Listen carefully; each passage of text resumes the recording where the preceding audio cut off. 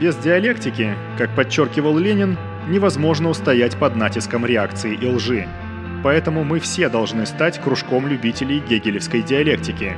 И опираясь на изучение истории, включая историю естествознания и техники и историю общественного развития, материалистически истолковывать диалектику Гегеля и использовать ее как могучий метод в борьбе за общественный прогресс.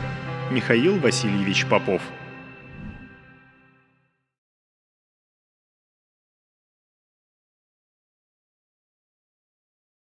Здравствуйте, дорогие товарищи! Поздравляю вас с началом нового учебного года в кружке любителей гегелевской диалектики КЛГД. Этот год у нас непростой. Он, во-первых, у нас одиннадцатый. Что мы сделали за 10 лет? За 10 лет мы медленным шагом, систематически изучали последовательно науку логики и довели это изучение до завершения. То есть мы завершили, мы по одному разу прошли науку логики. При этом мы неоднократно останавливались на том, когда что-то было непонятно или совсем непонятно, или мало понятно, что для того, чтобы это было понятнее, нужно науку логики штудировать. Что такое штудировать, об этом тоже у нас была вещь. Штудировать – это такое вроде э, э, по-русски высказанное немецкое слово «штудировать». То есть не просто вот читать, а возвращаться, изучать, и снова и снова возвращаться, снова и снова обдумывать, пока не разберешься. И вот даже вот те вопросы, которые у нас перед кружком были, что делать, они тоже упираются в вопрос о том, если мы хотим э, решить для себя найти ответ на вопрос, что делать, нам нужно заняться штудированием таких глубоких источников, на которых мы хотим опереться. Потому что если мы этого так сказать, не будем делать, не будем опираться на серьезные источники, мы ничего прочного такого не создадим у себя в голове, а следовательно не сможем вести правильную пропаганду, а следовательно мы не можем это сказать, сделать и в обществе. И поэтому проблема, вот совершенно правильно вот э, поставил товарищ у нас вопрос, что вот когда происходили контрреволюционные изменения, мало кто понимал, что они происходят. Это говорит о том, что вот уровень понимания социализма, знания социализма, уровень теории был достаточно, достаточно низкий. В том числе и потому, что три численности партии погибли в Великой Отечественной войне в том числе и поэтому. И как вы понимаете, э, члены партии – это те люди, которые, а, первыми шли в атаку, первыми делали самые решительные действия, а если они попадали в плен, то их первыми расстреливали.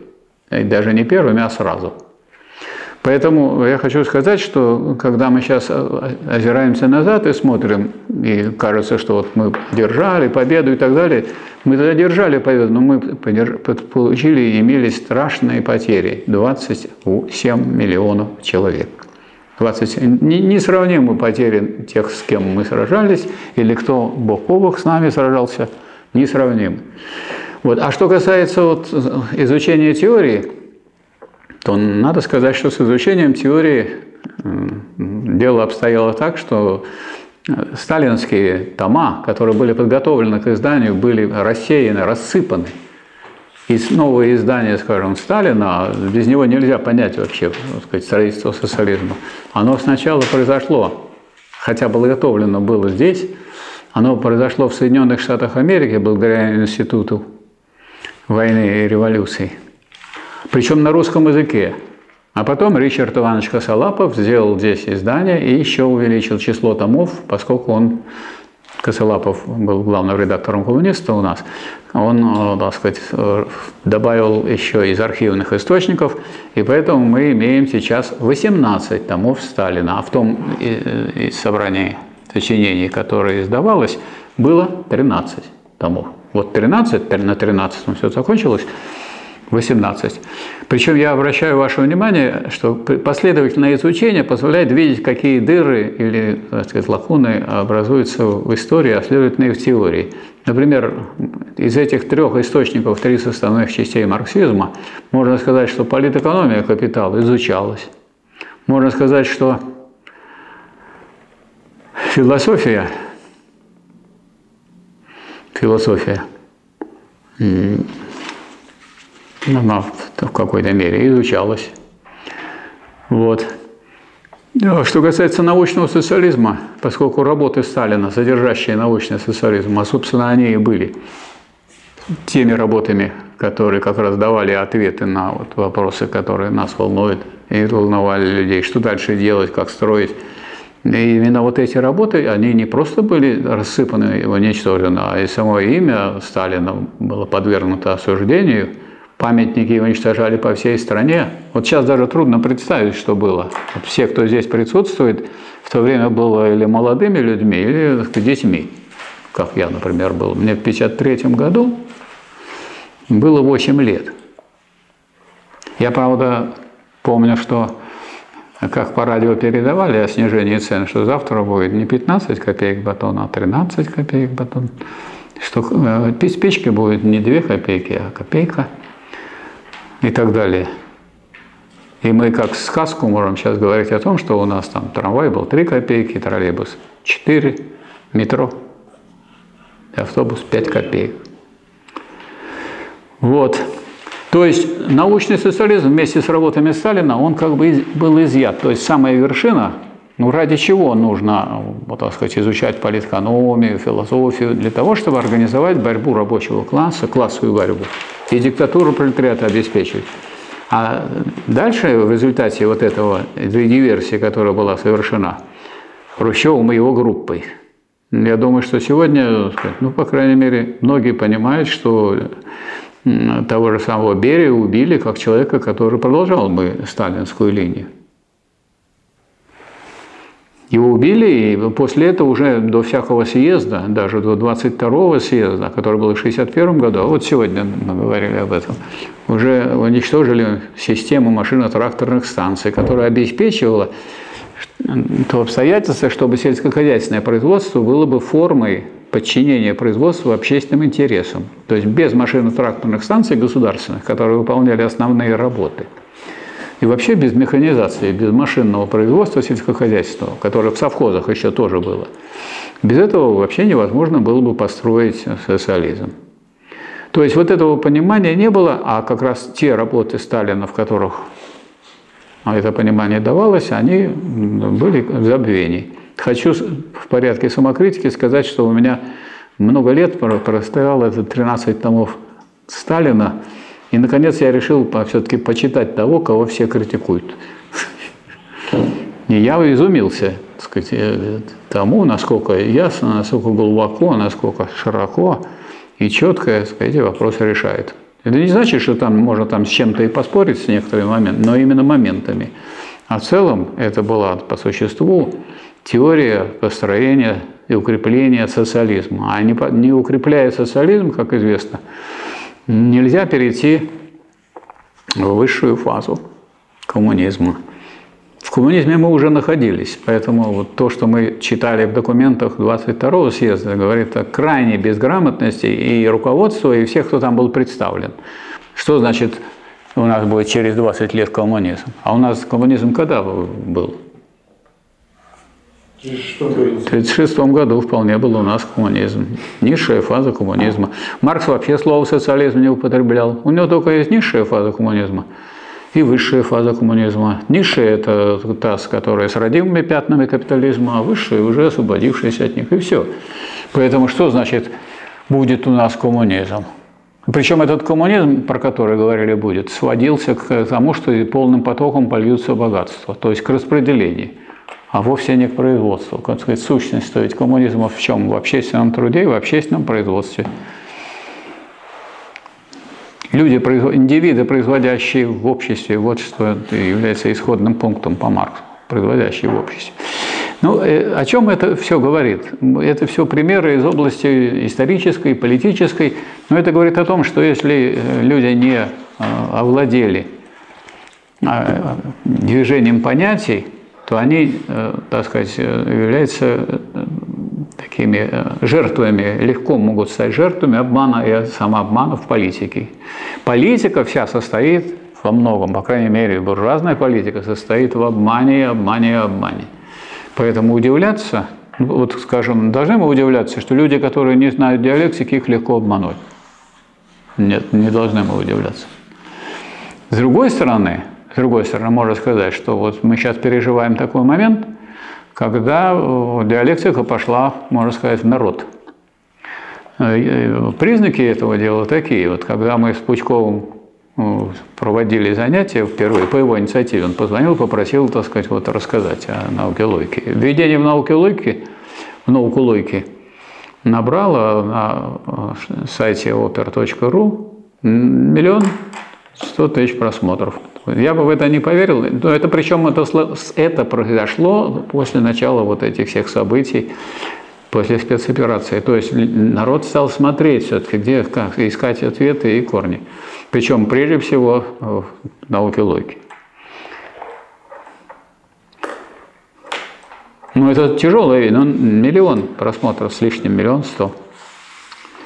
Вот. Ну и дальше без моих усилий, можно сказать, или почти без моих, кроме, если не считать того, что я там дописал в предисловии несколько слов, вышла книга, вот может показать Валерий Александрович, в издательстве UISS, такое немножко перевернутое СССР. Вот. Книга в издательстве в Москве, правда, скрывает тираж, может, они имеют в виду, что они по мере того, как будут люди покупать, они будут добавлять в которой называется лекции по философии и истории, путеводитель по диалектике Гегеля. Вот я еще раз хочу сказать, что эта книга была издана в свое время в издательстве Политехнического университета, соседом нашим. Во-вторых, она была издана в Тегеране тиражом. А, тысяча, у нас-то 300 экземпляров. В Иране на фарси тысяча экземпляров – Фарахани, это иранский коммунист, вот он взял на себя там все там расходы, какие у них там были, и сказать, всю эту организацию. Ну и мне прислали, я так увидел на последней странице, там фотографии такой, на меня не похожа, она что-то такое темное. Вот, поскольку нам читают, надо справа налево. Вот, и, и несколько русских слов, а все остальное написано на фарси. Тысячи экземпляров. Сколько экземпляров тут? А это, значит, э, издание такое. Сколько закажут, столько и будет. Заказывай, заказывай, заказывай, заказывай. Как сейчас делают нынешний час. Э, вопрос о произведениях там, Ленина, Сталина, диалектики – это вопрос, который начал становиться денежным, и люди будут заказывать и получать. Вот такая картина.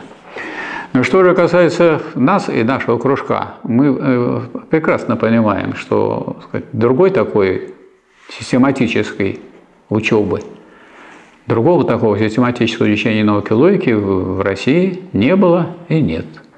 Ну, там люди, студенты, естественно, что-то изучают и издают. Некоторые философы что-то по этому поводу пишут, и продолжается старая российская практика, чита, э, значит, писатель пописывает, читатель почитывает. Вот. А вот э, для того, чтобы это сказать, было настоящей пропагандой, ну вот надо сказать, что для этого должна быть система. Вот сидит вот Степан Степанович, который у нас, меня на всех лекциях был вообще, вот, и, и который здесь все записывает, и, и Сергей Викторович и все, что касается этой диалектики, все это уходит, и все люди смотрят и читают. И э, здесь решение вопроса о том, что это сразу эту проблему, сразу проблему не решить, а она решается. И какие-то ключевые изменения уже происходят. Ну вот э, с пониманием этого мы э, э, решили и обсуждали этот вопрос на прошлом занятии, что нам надо уже перестать повторять, что мы изучаем Гегеля материалистически, а как-то совершенно конкретно это осуществлять. А что значит совершенно конкретно осуществлять? После нашего десятилетнего изучения мы можем картину, а, вот этой, в которой выражается эта проблема, выразить достаточно ясно. Вот есть всего у Гегеля в науке логики, про которые говорят трудно, там, тяжело и так далее, всего три книги. Они сгруппированы, значит, в два тома, а книги три. Книга первая «Учение о бытии», книга вторая «Учение о сущности» и третья книга «Учение о понятии». Кто из нас здесь присутствующих этого не знают. Все знают, очень легко запомнить. И, любо, и любому объяснить, кто умеет читать до трех, может это понять. Теперь первые две книги, то, что э, они э, говорят об объективности, а то, что это книги о бытии, тоже не вызывает никаких сомнений, и здесь никаких пертурбаций в связи с тем, что мы хотим понимать Гегеля, хотя он идеалист, а понимать его материалистически, тут не, должно происходить по одной простой причине, что первая книга – это «Бытие», в котором рассматриваются действительно вопросы вполне материальные, вопросы о, о, о качестве, о количестве и о мере как единстве качества и количества. И уже даже этот вопрос о мере позволяет нам уже понять, как меняется, как идет движение общественно-экономических формаций. И развивается производство, оно развивается, развивается, и все продолжает быть первобытно-общинным, а производство развивается, и меняется орудие труда. И все больше и больше производительность труда. И, наконец, появляется такая возможность выделиться из общины, не убить э, захваченных представителей другого племени, а обратить их в рабов, то есть как бы им сделать приятное – в том смысле, что сказать, для них, конечно, приятно то, что их не убили. Но э, уже может существовать семья с рабами. И поэтому первый скачок был вот это вот переход количества. А что менялось-то? А менялась производительность труда. Вот когда может уже могут рабы содержать как сказать, какое-то количество рабов, хотя бы одну семью отдельно, а не только себя. Но если раб может содержать только самого себя, он не нужен. Никто его не будет. Еще охранять его надо. Это вообще невозможно. Поэтому первый скачок, переход от э, первобытно-общинного строя к, к рабовладению. А при рабовладении уже науки, искусство – вот все эти люди, которые сегодня хотят доказать, что труд у них производительный, очень много претензий все время, постоянно, вот, особенно присылают все время в интернет. А почему вы не считаете производительным? Потому что производительным является труд материально производительным. А если вы хотите сказать, свести понятие производительного труда к тому, что он что-то допроизводит, вот человек, который пузыри пускает, тоже производительной деятельностью занимается, он пузыри. То есть вопрос-то не в том, что он что-то производит, а вопрос принципиальный в том, что есть производство материальное, то есть основа человеческого существования. А для того, чтобы заниматься наукой, искусством и всеми другими делами, надо сначала есть, пить и одеваться. И никуда от этого основополагающего положения уйти нельзя не только сейчас, не только в будущем, но в самом далеком будущем – Какие будут средства в этом материальном производстве? Сколько будет занято в этом материальном производстве? Это другой совершенно вопрос. Это чисто количественный вопрос. Но то, что в основе человеческого развития лежит материальное производство, а это сказать, не подлежит сомнению. И называется поэтому оно базис. Базис. Способ производства является базис, на котором возвышается уже политическая, идеологическая надстройка, и искусство, и литература, там, и медицина все полезное, нужное человечеству, которое сказать, у нас развивается, и которое, конечно, надо ценить и уважать любой труд, в том числе и непроизводительный, потому что любой труд что-то производит. Другое дело, что не всякий труд производит материальное благо. Но в фундаменте так устроено общество, так устроен мир, так надо это понимать. Кто-то этого не понимает, он сделал первую большую ошибку, и дальше уже никакого движения к марксизму у него быть не может. Поэтому у нас вот очень многие, сколько угодно их выходит в каждом, э, всяких комментариях, к лекциям, к роликам, там, а вот, э, а вот там, или программисты производительные. Вот я занимаюсь непроизводительным трудом. Почему? Потому что я, так сказать, чай попил, а произвожу что? Слова. На самом деле, так сказать, что так сказать, я могу произвести? Я могу произвести какие-то научные действия и это передать другим людям. Это полезно, нужно и так далее, но материальное производство, так сказать, если я буду только этим заниматься, я умру вместе с теми, кто здесь сидит. Потому что если у нас не будет материальных благ, ну, больше месяца не протянем. Зато будем тут твердо стоять, и память о нас никогда не пропадет как люди решили, что диалектика, она дает все, в том числе и пищу не только для ума, и мы, если будем ее изучать, то будем держись, но это не подтвердится. Так что вот что такое первый том? Надо его материалистически как-то перетолковывать. Если вы берете примечания, не читайте примечаний. Есть такой способ. Потому что в примечаниях человек пишет то, что он не является научным. Поэтому оставьте их в стороне. Это не, не, не, как говорится, не надо запрещать читать, но уже когда вы переходите к штудированию, не читайте это. Читайте основную цепь рассуждений, где вы видите, где идут переходы логические. Дальше, что такое сущность?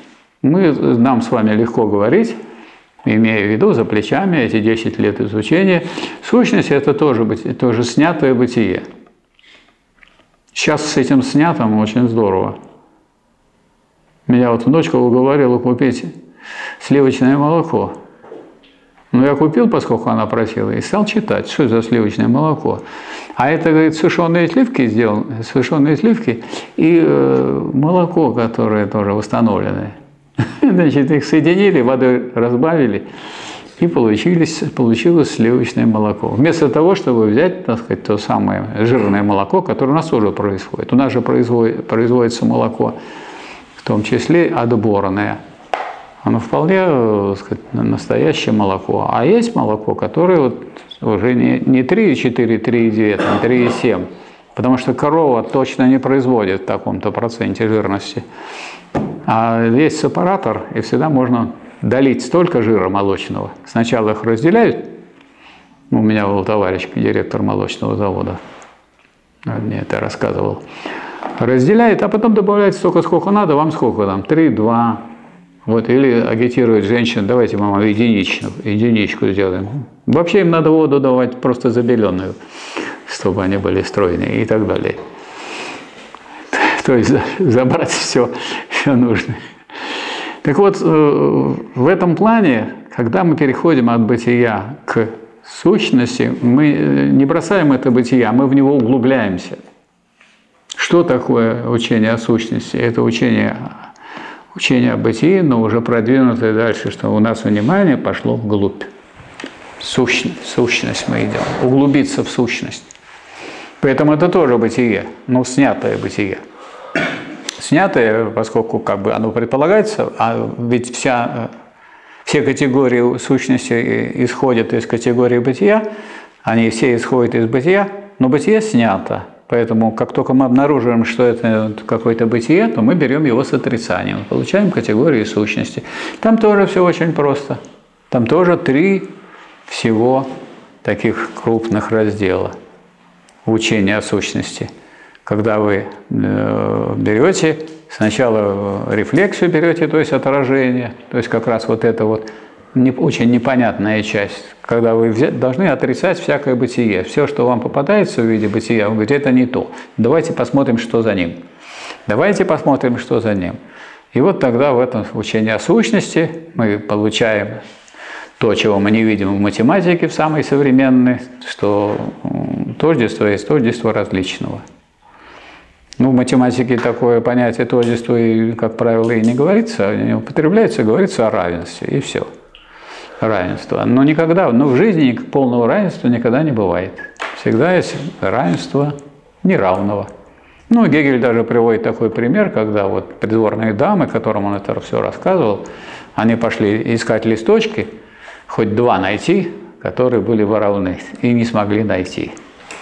Э, это может касаться даже не листочков, а чего угодно. Если вот у меня лежит два предмета здесь, а там у нас летают спутники, у них координаты разные.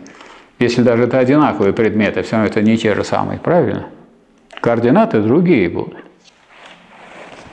И если будут высокоточным оружием бить по вот этому, вот поэтому, наука логики сохранится. Так что Нету тождества без различия, и нету различия без тождественности. И углубляясь в это, мы начинаем понимать, что вот каждая сторона содержит в себе и другую сторону. То есть одна сторона тождества, другая различие. Но тождество различного, а то различие тождественного. А раз каждая сторона содержит другую, они противоположны, мы получаем единство противоположностей, которое, как Понятно, раз это противоположность, оно только в борьбе может быть. Отсюда это противоречие. И вот противоречие мы, некоторые даже до противоречия, не сказать, что доходят, не можем, потому что обычно его сразу берут. Знатоки диалектики его берут сразу. Диалектики берут, конечно, сначала, начиная с чистого бытия, и доходят до противоречий, в том числе через разность, и тождество проходит, через различия. А некоторые люди говорят просто о противоречии и все. А как вы просто можете взять против? Откуда оно взялось? Если оно просто противоречие, вы берете, оно бытие. Раз бытие, то оно не в сфере сущности, это никакое не противоречие. Так вот, противоречие, э, раз оно связано с единством противоположных сторон, каждая сторона содержит, содержит в себе другую сторону. То есть каждая сторона есть противоположность. Тогда у вас единство противоположностей. Одна противоположность и две стороны – это единство противоположности. Значит, она схлопывается, так разрешается. И те самые противоречия разрешаются во что? В основание. Основание чего?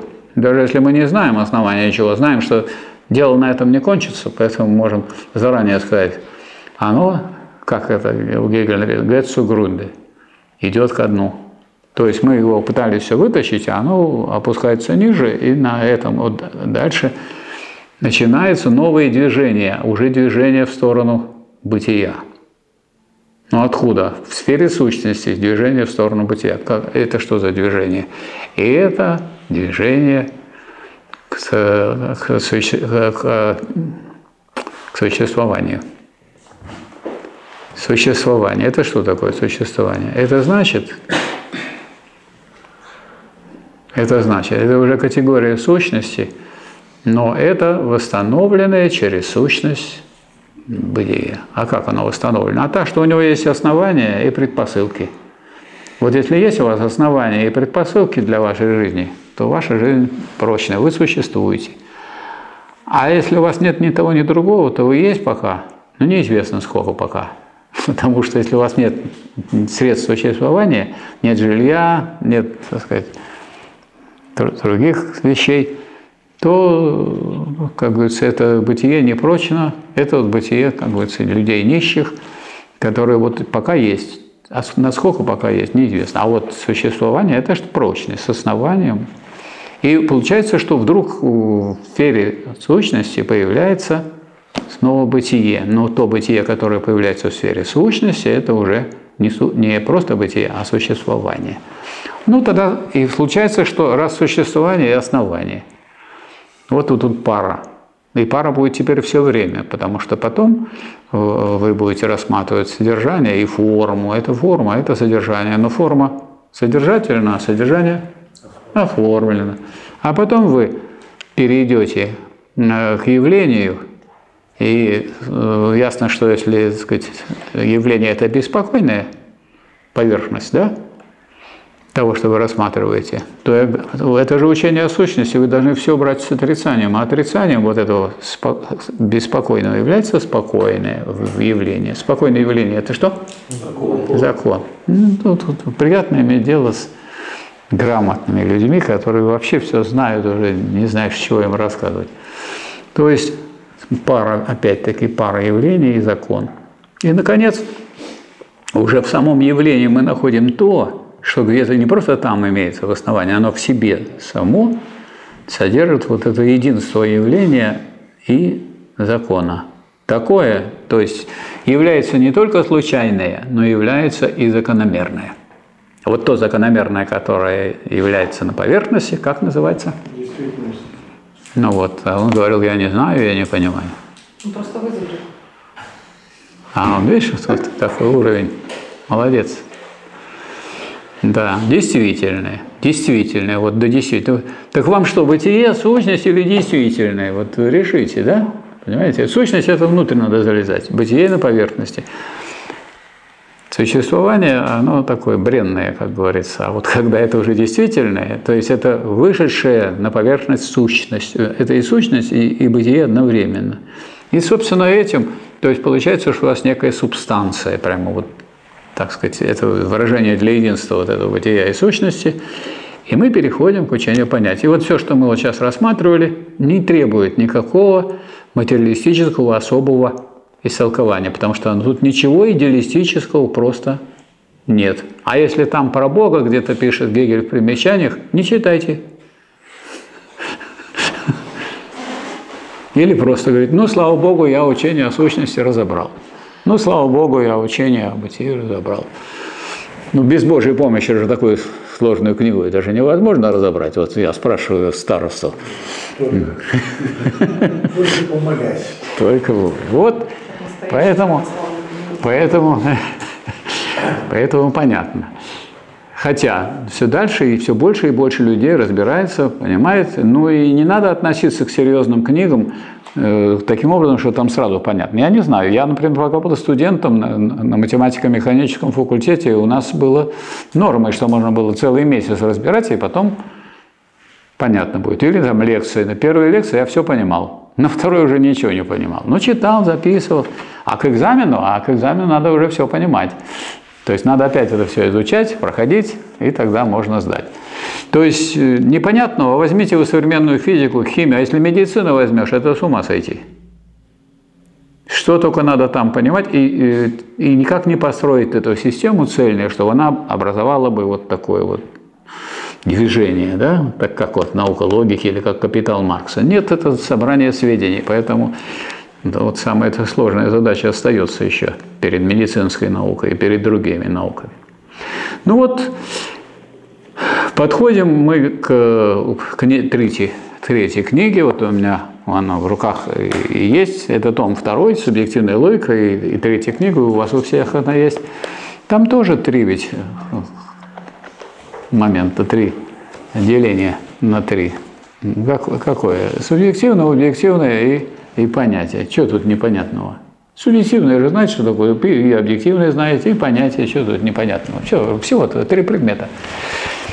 Ну и сколько уже говорено и написано, что мы материалистически должны истолковывать Гегеля. Ну а как, что это означает, так сказать, истолковывать, преобразовывать, понимать?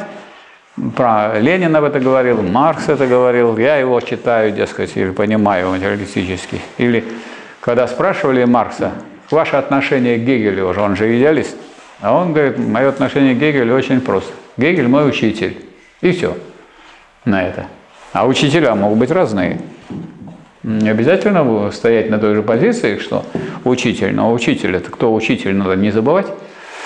Ну вот с этой точки зрения, когда у нас там три всего есть раздела, субъективное, объективное и и, наконец, абсолютная идея. В каком порядке это надо поставить, чтобы это было материалистически? Не поставить мы не можем в книге, а в каком порядке? Когда говорят, что мы материалистически должны истолковать Гегеля. Хотите его истолковать материалистически, значит, надо поставить в третьей э, части, в третьей книге все так, как, как требует логика. Чья? Ну, э, логика Гегеля самого. Ведь учение о сущности – это отрицание бытия, правильно? Сущность – отрицание бытия. А отрицание отрицания – это возвращение к бытию, через которое просвет, просвечивает сущность. Ну так возвращение к бытию разве может быть субъективным? Возвращение к бытию не может быть субъективным, значит, возвращение к бытию – это объективное. И там вы не найдете никакого доказательства, почему Гегель начинает субъективно. Начинает и все. Ну, значит, ну, ну идеалист, ну, начинает так тихо, и все. Все равно вы это не понимали, там другие не понимали, многие не понимают. Уже за эти два тома так намучились люди, что они уже готовы согласиться с чем угодно. И вот тут как раз спокойно ставится субъективно, там и Бог есть, и все, что, все остальное. Но мы, слава Богу, материалисты. А раз так, раз так, то мы можем поступить по-другому. Читать мы прочитали, уже изучали, мы, у нас есть доказательства, у нас есть старость, у нас есть, как говорится, протоколы. Видеопротоколы ведутся, как в суде, где все записывается. Поэтому никто не скажет, что мы не прошли вот подряд, как Гегель написал. А теперь мы говорим, а как надо поставить дальше? Вот поставить эти разделы, чтобы получилось материалистическая система, а не идеалистическая. А поставить очень просто. Сначала надо, ну что такое а, снятая сущность? Это что?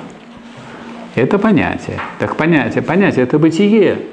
через который просвечивает предыдущее все. Но уже не такое бытие, которое было в начале, а бытие, в котором есть сущность. Правильно? Вот бытие, в котором, через которое просвечивает сущность, это понятие. Так это объективное. Понятие можно взять как объективное. Вот книга, она же объективный предмет. Объективно. Его можно поддержать, можно полистать. Можно кого-то, значит, этой книгой, если кто не хочет изучать, погладить и так далее. То есть это объективный предмет. То есть начать надо не с субъективного, а с объективного, чтобы система была материалистической. Можем мы потребовать от идеалиста Гегеля, чтобы он э, начал бы тут э, с объективно. Нет, он не можем мы от него этого потребовать. Он сделал свое дело, а это наше уже дело. Вот наше дело э, материалистическое преобразовывать. Гегеля и истолковывать. Поэтому надо начать с бытия, с объективного. А там что там объективно? Объективно там очень просто. Там начинается движение материи. И материи там есть слова. Там что есть? Механизм, химизм, организм.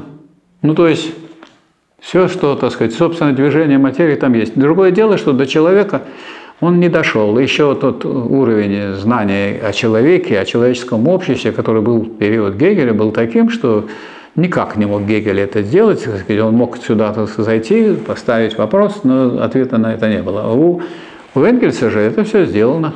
Что такое человек? Где это сделано? В антидюринге. Не, не в антидюринге, в диалектике природы. В диалектике природы есть такой специальный раздел, небольшой такой, так сказать, можно сказать, эссе, роль труда в процессе превращения обезьяны в человека. И вот он определяет человека как? Что это? Животное. Можно сказать, первое животное, это правильно, но это не все. Животное общественное, это первое общественное. Этого Гегель не сформулировал нигде.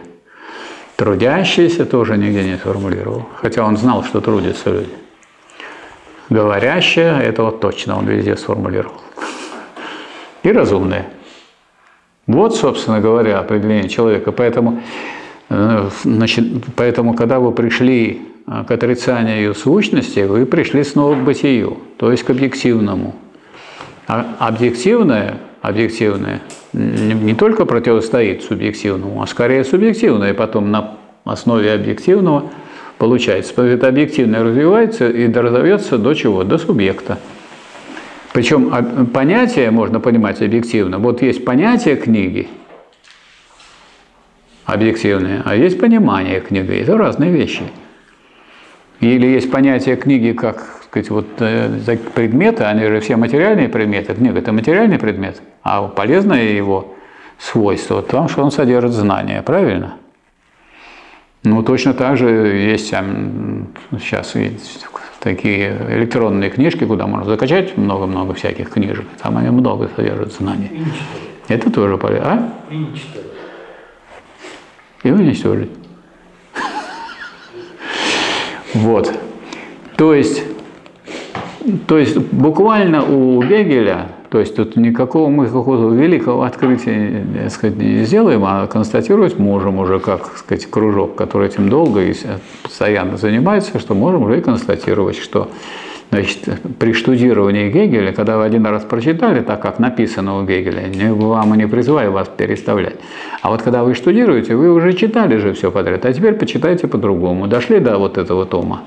Вот сначала читайте объективное, и там поднимайтесь по тем звеньям, которые прямо у Гегеля есть. Механизм, химизм, организм.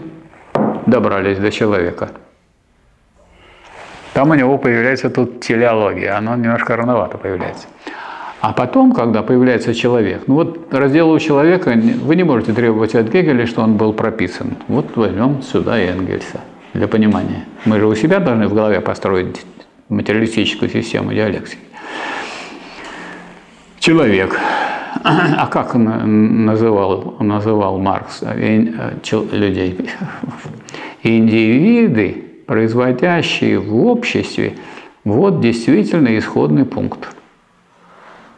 Не индивидуумы. Если я выступая как индивидуум, то я, так сказать, стараюсь от всех здесь присутствующих оттолкнуться, дескать, вот я индивидуум, и вы индивидуумы, вы индивидуумы, все мы индивидуумы, у каждого есть свое личное, которое мы никому не отдадим, а никто и не, его не требует. То есть, а когда говорится индивиды, то слово индивид означает, что общество состоит из индивидов, а это э, моменты этого общества.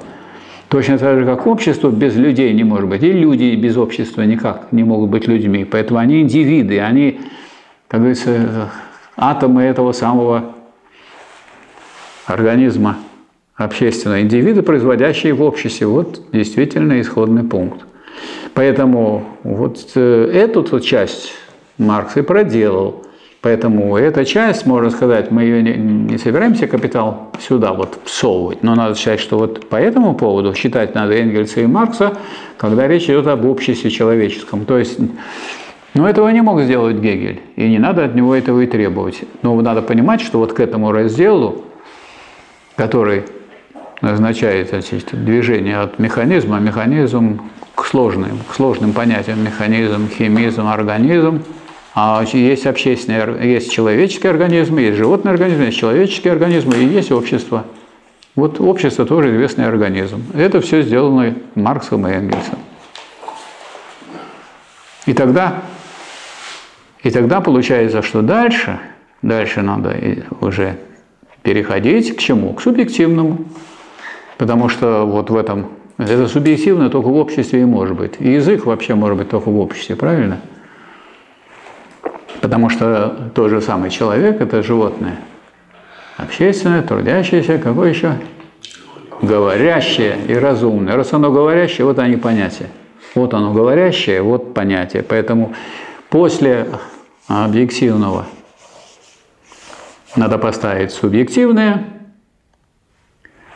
Ну а дальше весь хвост, который относится, а субъективное – это все понятия, суждения – заключение, умозаключение, мы это все разбирали, это все равно непонятно, или мало понятно, и трудно, но место мы должны знать этому. Это вот когда вы взяли уже человечество, эти общественное сознание, субъективность, и, наконец, понятие, которое есть единство субъективного и объективного. Правильно? Это совершенно понятно. Эта троичность на самом деле все облегчает. Везде, так сказать, ищите третьего. Это непреложный закон. Ищите третий, и все. Вот э, объективность. Как это выглядит, вот э, если взять книгу, которую там помогли товарищи издать, и записали меня сюда редактором, хотя, как вы понимаете, ничего другого, кроме как вот того, что я сейчас вам говорю, я тут такое редактирование не внес, а сейчас уже вроде, можно сказать, предложение вношу. Значит, Поэтому получается такая вот материалистическая преобразованная структура изучения третьей книги науки логики, учения понятий. Предисловие – это страница 3 и 4, не трогаем. А понятия вообще, то тем более не трогаем. 5.24. Первый отдел – объективность. Это со страницы 124, а так было вот с 3 до 24 со страницы 124 до 150 и 175 до 188. Вступление, страницы 124 и 129. Механизм, по этой вот книге, по этому изданию, механизм, страницы 129, 144, химизм, 144, 150. И третья глава – жизнь. Жизнь. А дальше прямо просится то, что говорил Энгельс. Жизнь есть способ существования белковых тел. И начинает это все нам рассказывать. Собственно, он э, диалектику природы, собственно, для этого и написал. Второй отдел – субъективность. Это страница 25-123. Первая глава – понятие. Страница 25-46. Вторая глава – суждение.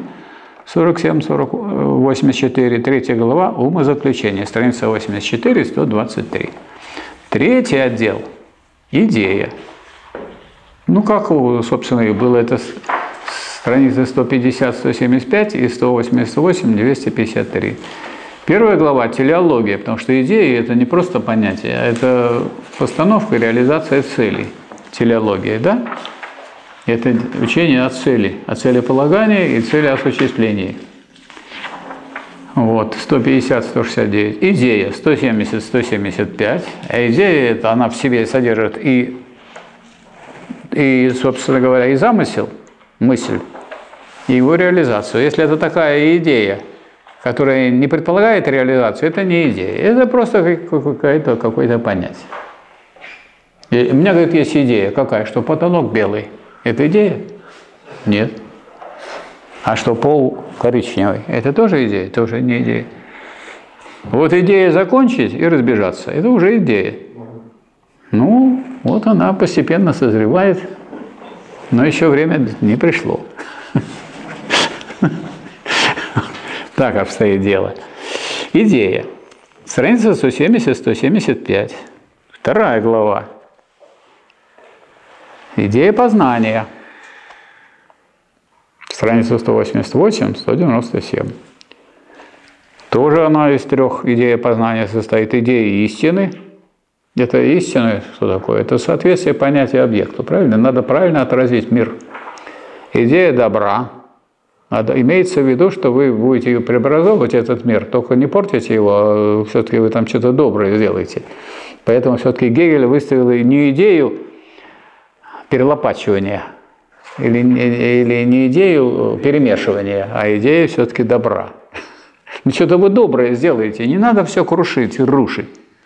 И третья глава – абсолютная идея. А что такое абсолютная идея? А вот единство того и другого идеи э, познания мира, идеи преобразования мира. Вот и все тогда у нас будет вполне материалистически. И всего-то мы переставили вот первый отдел и второй. Потому что никак не может быть первый отдел объективности куда-то закинут на второе место, именно потому что в учении о понятии мы снова возвращаемся к бытию, но с сущностью уже, правильно? Что такое снятая сущность? Это возвращение к тому, что было. Но к какому? К такому, который теперь в себе содержит эту самую сущность.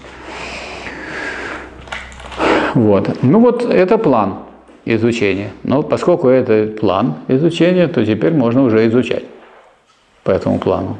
Поэтому то, что я сейчас рассказывал, я уже об этом говорил и э, в конце э, прошлого учебного года – ну, как говорится, повторение мать учения. Я не скажу, что я именно для вас, вот, присутствующих, повторяю, или тех, кто смотришь, и для себя повторяю, для того, чтобы утвердиться, потому что это новая дорога, мы должны снова эту дорогу пройти и глубже понять уже материалистически истолкованную диалектику Гегеля. Для этого нам желательно, конечно, сказать, разбираться и в учении о бытии, и в учении о сущности – но вот этот раздел учения понятий, он материалистически преобразованный, может быть у нас в голове, и об этом можно говорить. Вот, собственно говоря, я э, вот Валерию Александровичу как старости передал книжку, которую вот по своей инициативе из московское издательство издало лекции по философии и истории. Там идет речь о, о том, как э, в истории проявляет себя вот диалектика – ну, это, так сказать, можно сказать, подход. А тут мы говорим о том, чтобы, наконец, поставить на материалистическую основу изучение науки логики, а лучше сказать, штудирование науки логики, чтобы мы ее штудировали как материалисты и получили бы материалистическое понимание диалектики. Потому что мы хотим овладеть материалистической диалектикой или хотим овладеть диалектикой вообще – Хорошо бы и вообще, но понятно, что одно дело противоречие только в моей голове, а другое дело противоречие в жизни общества. Понятно, что противоречие в жизни общества глубже, а в головах это отражение тех противоречий, которые есть в обществе, в истории далее. Вот такого рода задача перед нами стоит, и поэтому на первом нашем занятии Эту задачу я постарался сформулировать. И, следовательно, что мы будем дальше делать? А дальше вот мы будем по этому плану действовать У Сергея Викторовича есть уже вот такая, э, такой листочек, он уже его вывешивал. Я думаю, что он вывесит, еще раз повторит, когда будет вывешивать, выкладывать этот самый кружок. И мы э, начнем штудировать. Если кто думает, что э, это мы уже проходили и все понятно, хотя я, правда, никого не встретил из тех, кто является членами нашего кружка, то я могу сказать, что я для себя, например, ну, ну считаю необходимым, так сказать, и второй, и в третий, и, может, двадцать третий пройти правильным путем, особенно тогда, когда вы перед этим ходили кривой дорогой. Если мы ходили кривой дорогой идеалектической, логической такой, идеалистической, и мы не могли иначе сделать, потому что мы должны были прочитать ту книгу, которая есть. А материалистическая диалектика, она получается путем преобразования или соединения диалектики Гегеля с материализмом. Вот, собственно, это у нас задача какая? Синтетическая. А раз она синтетическая, то, значит, то, что является синтезом предыдущего, представляет собой нечто более сложное. А раз более сложное, ну, поэтому наше движение не будет более простым, а будет более сложным. А раз оно будет более сложным, значит, будет о чем подумать. А вот э, сюда люди приходят не так, чтобы освободиться от мысли, а наоборот подумать о глубоком. Поэтому я думаю, что вот мы задачу такую будем решать. Какие есть предложения, соображения или мысли в заключение? Протесты. Вот, пожалуйста. Значит, третья глава телеологии, она идет перед идеей, правильно же? Правильно. Правильно. Телеология идет, она в разделе идея, в разделе идея, но идет самый первый. То есть она перед всем остальным. Перед, перед идеей. Потом пошла идея. Да, да, да, да, да, да, да. Потому что если нету, сказать, потому что, потому что если нету цели, то нет и идеи. Есть просто мысль. Когда мы говорим об идее, то есть телеология, а потом идея. Да, да, да, да. У матросов нет вопросов. Нету? Ну, в таком случае я должен, значит, во-первых, констатировать, так сказать, что у нас в кружке, я думаю, не только в кружке, и у тех, кто смотрит эти занятия, их смотрит уже все больше и больше людей. Вот, поэтому есть такое понимание, и к этому процессу подключатся многие люди, которые просто физически не могут быть, потому что работают в это время, или в другом городе живут, или в другой стране. Но, как мы знаем, наши люди есть везде, во всех странах, во всех областях, и поэтому это самая верная дорога. И это вот то прочное должно все скреплять и соединять. Потому что, ну что является синтезирующим? Какой раздел э, ну, трех источников и трех составных частей марксизма. Вот это и является раздел синтезирующий, потому что, потому что э, философия есть наука о всеобщем, надо всеобщее во всем брать и соединять. Все это все идеи касаются и э, политэкономии, идеи касаются и научного социализма, но надо понимать, что такое идея – то есть без понимания того, что такое идея, нельзя не сводить ни те, ни другие, ни третьи идеи. То есть если у нас нет соответствующего сосуда, то нечего туда и наливать. Вот так обстоит дело. Поэтому э, я думаю, что товарищи поняли, некоторые поняли, что это кратчайший путь прямая дорога. Некоторые хотели, вот, так сказать, с кондачка, можно сказать, взять этот марксизм, быстро его освоить. Вот его не освоишь с кондачка. Но глубокое понимание требует вот этого. Это кратчайший путь, кратчайшая дорога к пониманию марксизма – или учение о социализме как некого целого. А если это не понимается практически или недостаточно широко понимается, недостаточно широко освоено, то это не будет реализовано практически. Я думаю, что история нашей страны не имела таких замечательных условий, как у нас, как мы живем при этом самом капитализме.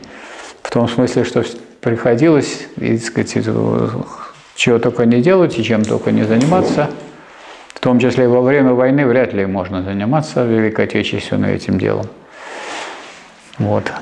А само преодоление войн означает, что надо освободиться от империализма. А это предполагает развитие социалистических стран и социалистического лагеря. И другого пути к этому нет. Социализм, как известно, не пропал. Он строится в, имеется в Корее Северной, он строится в Китае успешно. Он находится в переходном периоде снова на Кубе. Он в переходном периоде находится в Лаосе. Ну, у нас достаточно социалистических стран, которые... А? Вьетнам, да, и 100 миллионов Вьетнам. И он героически сражался. Начал он с половины Вьетнама, а закончил тем, что весь Вьетнам стал социалистическим. Но он имеется в виду социалистический в плане перехода к социализму. Там переходный период от капитализма к социализму. Что вопрос у вас был?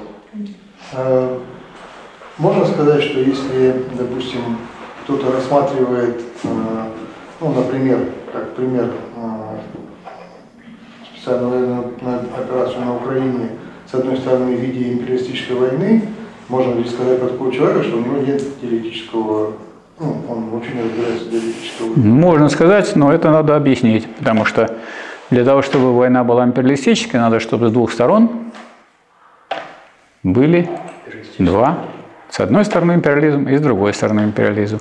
Уже Вторая мировая война, она была мировой, но вы никак не можете назвать ее империалистической, потому что со стороны Советского Союза никакой она империалистической не была. Да, я не про то. А... Я про то, что как бы, вот, кто заявляет как бы, односторонний, односторонний подход к данной ситуации. Ну, он не односторонний, он, он получается профашистский. Он, не, он, не он вообще пользует эту односторонность. Кроме того, что еще там освободительная борьба у нас ну, специальная военная операция, там же освободительная борьба же Значит, она, кроме просто освободительной, которая, так сказать, в тумане оставляет, кто от чего что освобождает.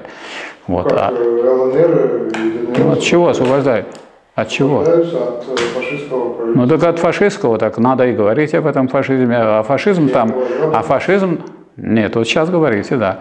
Вот фашизм имеется в виду во внешней политике. Но то, что это американский фашизм во внешней политике, вот это сейчас Э, вот именно сейчас. Наиболее ярко, мы об этом и раньше говорили, но это и высветилось сейчас очень ярко, потому что мало того, что Соединенные Штаты сюда направляют орудие и оружие массового поражения, самые современные, в которых заключен, между прочим, человеческий труд очень многих рабочих, американских, прежде всего, заключен. И этот труд используется для уничтожения, для уничтожения вот, украинцев, русских и так далее.